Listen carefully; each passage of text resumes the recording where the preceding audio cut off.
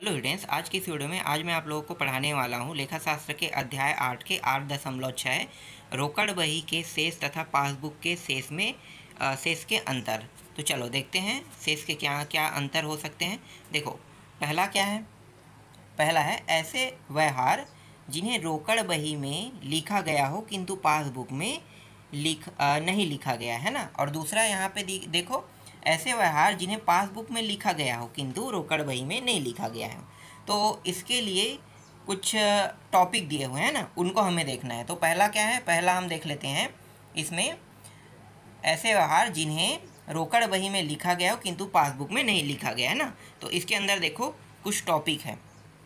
जैसे कि यहाँ पे पहला है, निर्गमित किए गए चेक जो भुगतान हेतु प्रस्तुत नहीं हुए हैं। तो ये क्या होता है, जानते हैं। व्यापारी जब अपने लेनदारों को भुगतान करने हेतु चेक निर्गमित मतलब जारी करता है तो इसका लेखा वह रोकड़ बही के क्रेडिट पक्ष में तुरंत कर देता है। किंतु बैंक इस व्यवहार का लेखा उस समय तक नहीं करेगी, जब तक कि ऐसे जारी किए गए चेक भुगतान हेतु बैंक में प्रस्तुत नहीं किए जाते। अतः ऐसे व्यवहार का लेखा पासबुक में नहीं होने के कारण रोकड़ बही और पासबुक दोनों के शेषों में अंतर उपस्थित हो जाता है। समझ में आ गया ये टॉपिक बहुत आसान है। जैसे कि मैंने आपको चेक दिया और चेक देने के बाद अगर आप बैंक में जमा करते हो तभी वो पैसा आपको मिलेगा और जब तक कि आप बैंक में जमा नहीं करोगे, तब तक कि आपको पैसा नहीं मिलेगा। तो यही चीज़ बता रहा है। इसी कारण क्या होता है? जो भुगतान है, एक साइड से हो गया होता है, दूसरे साइड से विलंबित हो रहता है या फिर रुक जाता है। किसी कारण और उसमें जो चेक का होता है वो डेट रहता है। उस डेट तक के आपको जमा करना होता है बैंक में। अगर उस डेट के बाद अगर जमा करोगे तो वो भुगतान नहीं हो पाएगा। ठीक है, आगे देखो। दूसरा टॉपिक है यहाँ पे, संग्रहण करने हेतु भेजे गए चेक का संग्रहण न होना। व्यापारी समय समय पर अपने ग्राहकों से भुगतान में भुगतान में प्राप्त चेक, हुंडी, विपत्र आदि को अपने बैंक में संग्रह करने हेतु भेजता है। तथा तुरंत ही इनकी राशि से रोकड़ बही में बैंक को डेबिट कर देता है। किंतु बैंक व्यापारी के खाते को उस समय तक क्रेडिट नहीं करता है, जब तक कि ऐसे चेक हुंडी तथा विपत्र की राशि देनदार से वसूल नहीं हो जाती। इस तरह ऐसे व्यवहार का लेखा रोकड़ बही में तो हो जाता है, किंतु पासबुक में न होने के कारण दोनों की शेष राशि भिन्न हो जाती है। ठीक है तो ये भी आपको समझ में आ गया। ये तो स्पष्ट समझ में आ गया होगा ना? तो एकदम उदाहरण से बताने की ज़रूरत नहीं है। सरल सरल टॉपिक है। इसके बाद देखो, चेक रोकड़ में लिखे गए लिखे गए पर बैंक जमा करना भूल गए। तो देखो, क्या होता है ये? कभी कभी जल्दी में व्यापारी प्राप्त चेकों का लेखा रोकड़ बही में तो रोकड़ बही में कर लेता है, पर भूल से या अन्य किसी कारण से उन चेकों को बैंक में जमा करना भूल जाता है। परिणाम यह होता है कि रोकड़ बही का शेष बढ़ जाता है और पासबुक का शेष पूर्ववत बना रहता है। अब इसके दूसरे टॉपिक देखते हैं। ऐसे व्यवहार जिन्हें पासबुक में लिखा गया है, किंतु रोकड़ बही में नहीं लिखा गया है। तो चलो, इसको भी कुछ टॉपिक है, इनको भी देख लेते हैं। देखो, पहला क्या है? बैंक द्वारा दी गई जमा राशि पर ब्याज। बैंक समय समय पर अपने ग्राहकों को, ग्राहकों की जमा राशि पर स्वीकृत कर उनके खाते में क्रेडिट कर देती है। किंतु ग्राहक उस राशि को अपनी रोकड़ बही में उस समय तक डेबिट नहीं कर पाता है, जब नहीं कर पाता, जब तक कि उसे उसकी सूचना प्राप्त नहीं होती है। अतः दोनों बहियों के शेष में अंतर होना स्वाभाविक है। दूसरा देखो, बैंक द्वारा, एक मिनट, बैंक द्वारा लगाया गया अधिक वर्ष अधिविकर्ष पर ब्याज बैंक व्यय तथा कमीशन आदि। बैंक अपने ग्राहकों को उसकी जमा राशि से अधिक रकम निकालने की सुविधा प्रदान करती अतः समय समय पर ग्राहक द्वारा अधिक निकाली गई रकम पर बैंक ब्याज लगाती है। इसी तरह अन्य सेवाओं की सुविधा उपलब्ध कराने के एवज में बैंक द्वारा ग्राहक से बैंक व्यय अथवा कमीशन आदि के रूप में रकम की वसूली जाती है। इन सभी राशियों से बैंक ग्राहक का खाता डेबिट करती है, किंतु व्यापारी को इनकी सूचना न होने के कारण वह बैंक में इनकी राशियों से क्रेडिट नहीं कर पाते। परिणामतः रोकड़ बही और पासबुक की शेष राशि में अंतर आ जाता है। आगे जानेंगे कि कैसे अंतर आएगा ना एक उदाहरण के माध्यम से। अभी इसको पढ़ लेते हैं। थ्योरिकल है। इनसे संबंधित अगर एग्ज़ाम में प्रश्न आते हैं तो इन्हीं टॉपिकों को लिखना है, इसके अंदर क्या क्या लिखना है, यही अभी हम लोग देख रहे हैं। बैंक द्वारा वसूल वसूली गई प्रतिभूतियों की ब्याज राशि, लाभांश आदि। बैंक द्वारा व्यापारी के लिए उनके निर्देशानुसार समय समय पर प्रतिभूतियों पर ब्याज कंपनी से लाभ लाभांश प्राप्त प्राप्त विपत्रों की राशि संग्रहित की जाती है। अतः बैंक जैसे ही इनकी राशि वसूल कर लेती है, तुरंत ही ये राशियाँ व्यापारी के खाते में जमा कर देती है। किंतु सूचना के अभाव में व्यापारी इनका लेखा अपनी बहियों में नहीं कर पाता। परिणा परिणामतः रोकड़ बही व पासबुक के शेष में अंतर हो जाता है। इसके बाद चौथा है। व्यापारी के खाते में उनके देनदारों द्वारा सीधी जमा की गई राशि। कभी कभी व्यापारी के देनदार व्यापारी के बैंक खाते में सीधी रकम जमा कर देता है। इसकी सूचना व्यापारी को कुछ समय बाद मिलती है, अतः सूचना मिलने तक रोकड़ बही व पासबुक के शेष में भिन्नता होगी। नेक्स्ट है पांचवा। बैंक द्वारा व्यापारी के व्यापारी के लिए किए गए सीधे भुगतान। बैंक व्यापारी के स्थायी आदेशानुसार उसकी ओर से अनेक प्रकार के व्ययों का भुगतान करती है। जैसे बीमा किस्त है, बिजली के बिल आदि। अतः बैंक बैंक जब भी इस प्रकार के भुगतान करती है, व्यापारी के खाते में भुगतान की गई रकम डेबिट कर देती है। किंतु सूचना न होने के कारण व्यापारी बैंक को क्रेडिट नहीं कर पाता। अतः दोनों में अंतर की उपस्थिति रहना स्वाभाविक है।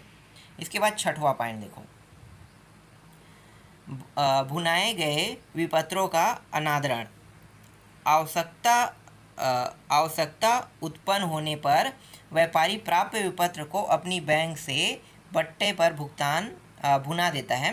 किंतु कभी कभी इस प्रकार भुनाए गए विपत्र का भुगतान उनके स्वीकर्ता द्वारा अवधि समाप्त होने पर नहीं किया जाता है। इस स्थिति में बैंक व्यापारी के खाते को विपत्र की राशि से डेबिट कर देती है। किंतु सूचना के अभाव में व्यापारी बैंक खाता क्रेडिट नहीं कर पाता है। परिणामतः दोनों बहियों के शेष में अंतर उपस्थित हो जाता है।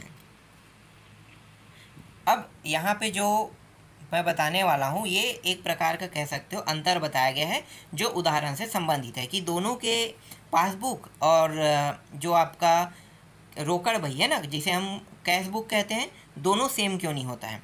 तो इसी के बारे में यहाँ पे जानेंगे। तो देखो, आठ दशमलव सात, रोकड़ बही और पासबुक के शेष में अंतर का लक्ष्य उदाहरण।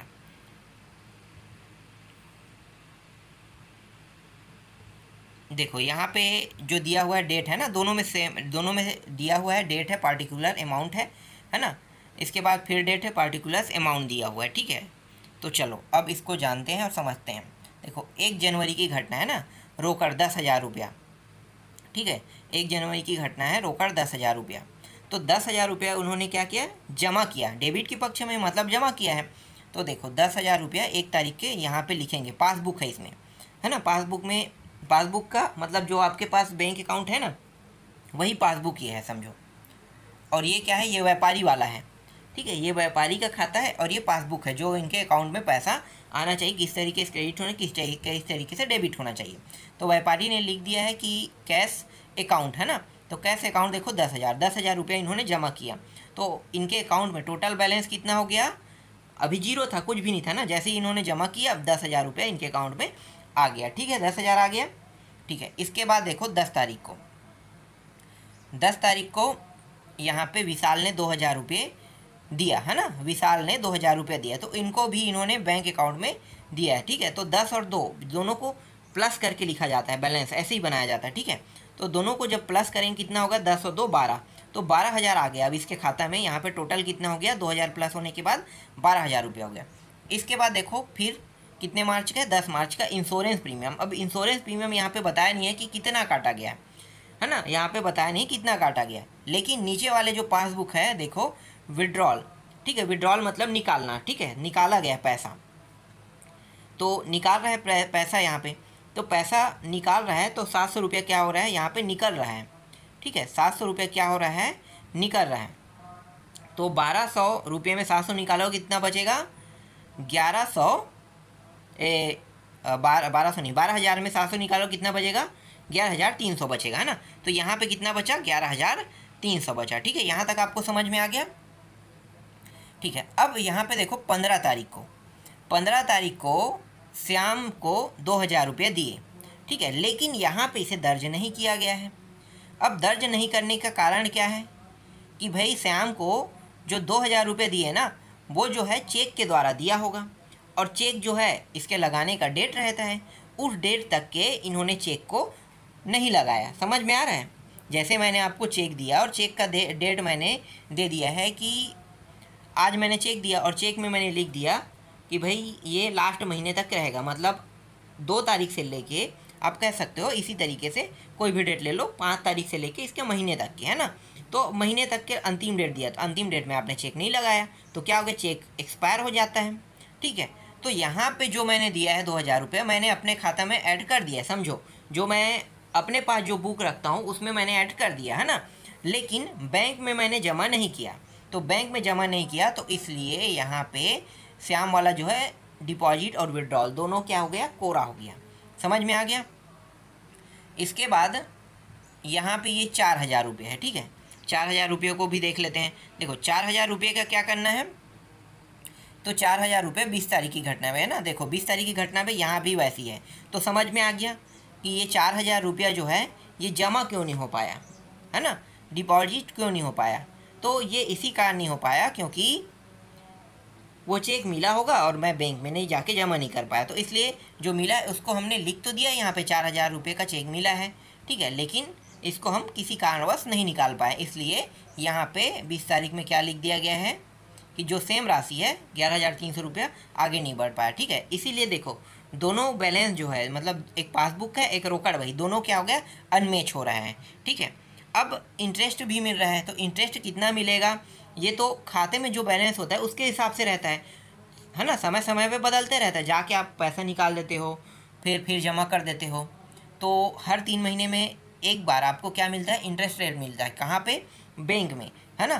तो यहाँ पे इंटरेस्ट रेट लिखा है, कितना मिला है? नहीं है। लेकिन मिलता है, इसलिए यहाँ पे दर्ज कर दिया गया लेकिन कितना मिलेगा? ये बैंक तय करेगा।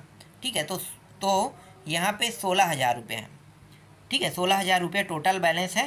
सोलह हज़ार बैलेंस का यहाँ पे एक सौ साठ रुपये इन्होंने दिया है। तो एक सौ साठ रुपये को क्या करना है? इसके साथ प्लस कर देना है। ग्यारह हज़ार तीन सौ में प्लस करोगे तो ग्यारह हज़ार चार सौ हो जाएगा। ठीक है?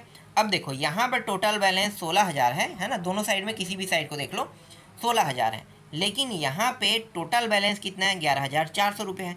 तो दोनों का साइड बराबर है क्या? नहीं है। न तो पासबुक बराबर है और नहीं रोकड़ बही। कारण समझ में आ गया, क्यों पासबुक बराबर नहीं रहता है, क्यों रोकड़ बही बराबर नहीं रहता है? कई बार क्या होता है, भुगतान चेक के द्वारा हो जाता है। इसीलिए पासबुक और रोकड़ बही दोनों बराबर नहीं हो पाता है। तो आज की वीडियो में बस इतना ही। बाकी जो टॉपिक बचा उसको मैं आपको नेक्स्ट वीडियो में बताऊँगा।